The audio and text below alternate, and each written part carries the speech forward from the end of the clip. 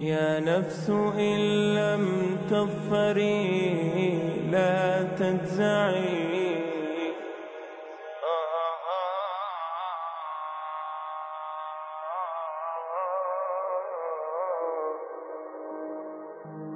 يا نفس إن لم تظفري A man by the name of Michael Hart.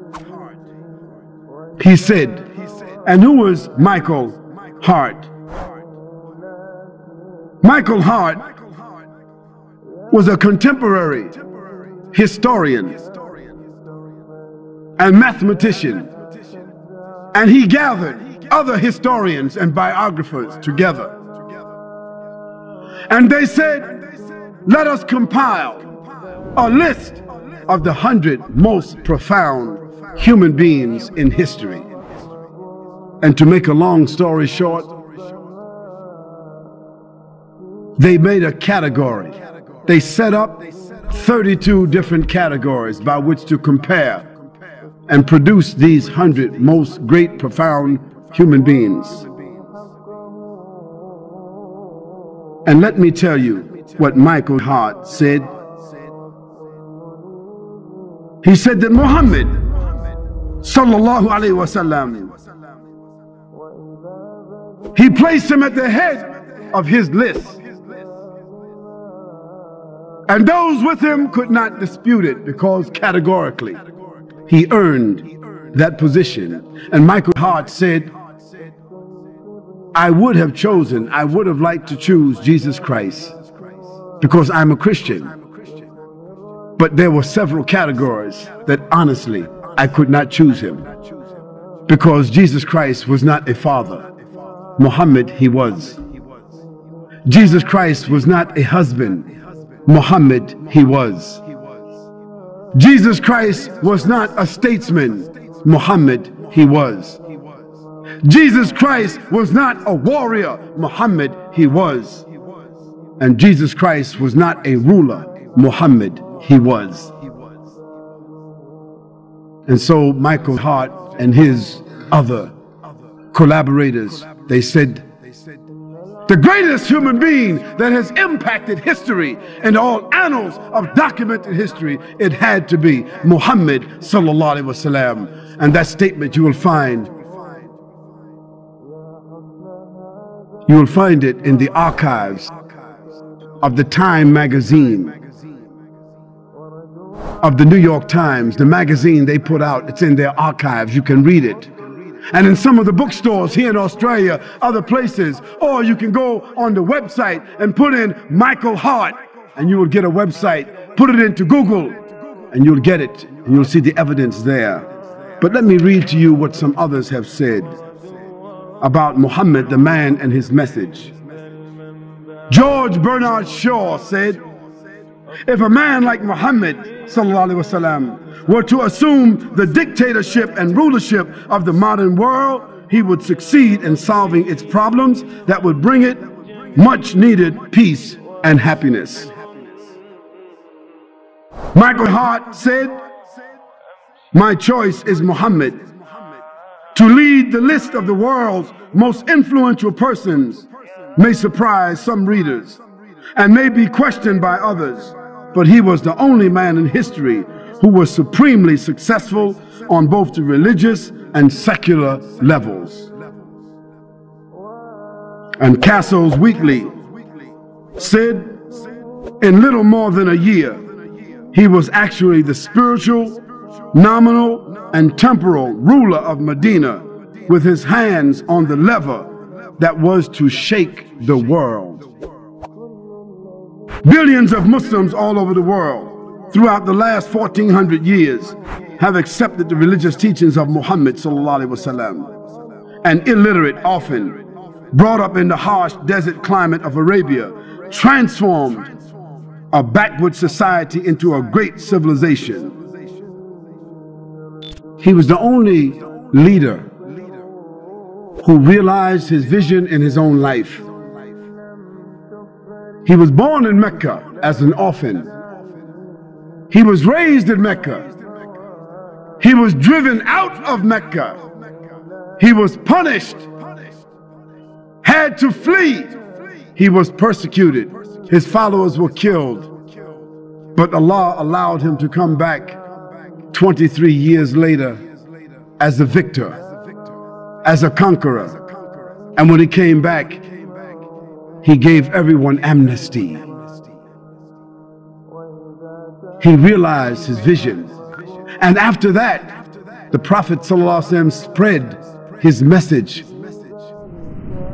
He spread Islam throughout the peninsula of Arabia so that Islam became established as a state, as a government.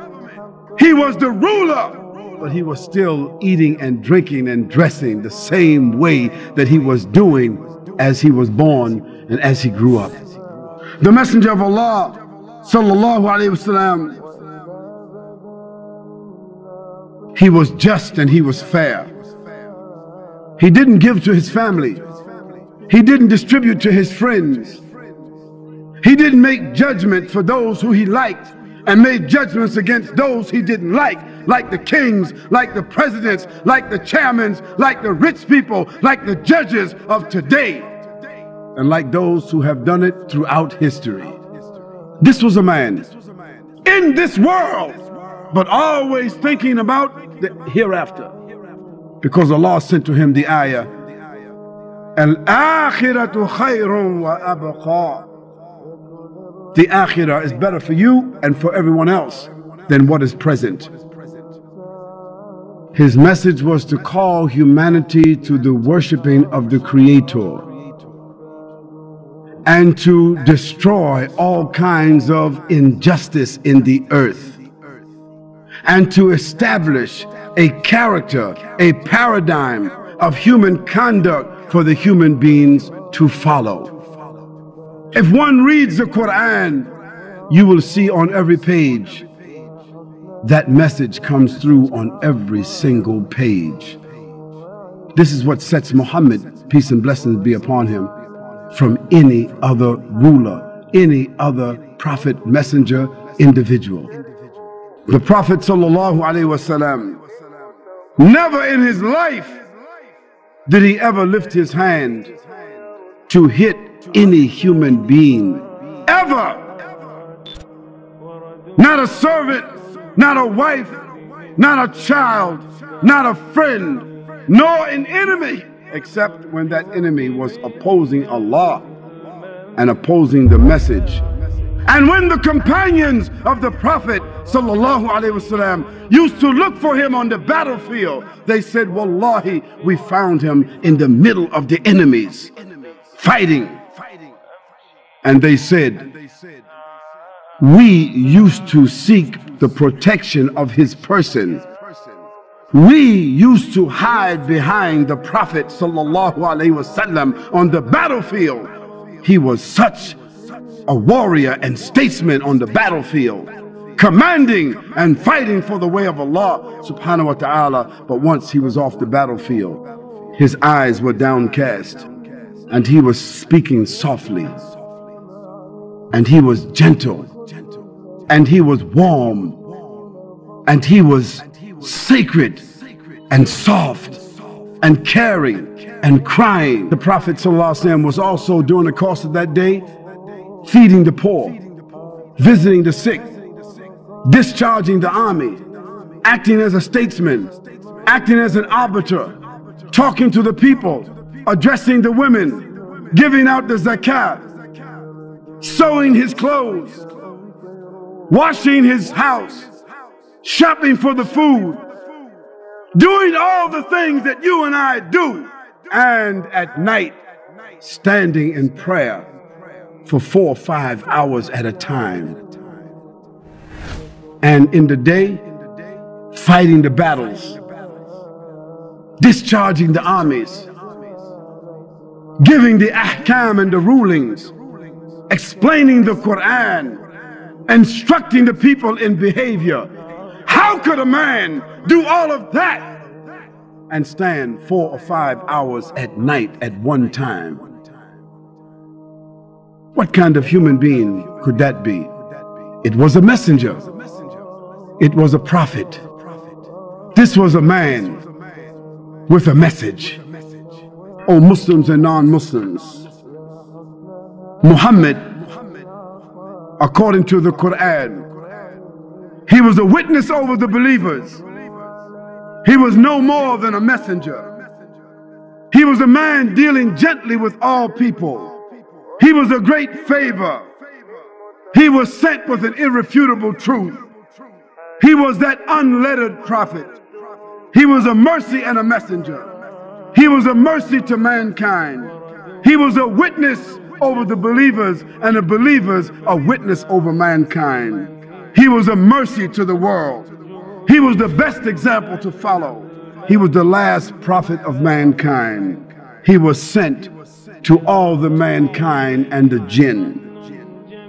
He was victorious over all systems, and he was created on an exalted standard. O Muslims and non-Muslims, there's not a person in the whole of history that can compare with Muhammad sallallahu alaihi wasallam. Not a Confucius, not Gautama Buddha, not Alexander the Great, not Bonaparte Napoleon, not Julius Caesar, nor Constantine, not Mahatma, not Mahatma Gandhi, not King Richard or King Ferdinand, not Winston Churchill, not Charles Darwin, nor Deng Xiaoping, nor Karl Marx, not Albert Einstein, not Martin Luther or Martin Luther King Jr., not George Washington, not John F. Kennedy, and certainly not Bill Clinton, not Tony Blair, nor John Howard, nor George Bush Sr. or George Bush Jr. Not you, not me, not our parents, nor our grandparents, nor any of our ancestors can match this man Muhammad sallallahu alaihi wasallam.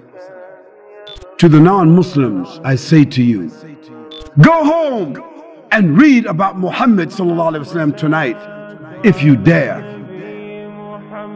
If you're not afraid of change, because if you read about Muhammad وسلم, with an open heart and an open mind, there's a chance that love for this man and respect for this man will come into your life, come into your heart, come into your mind, come into your family and your home.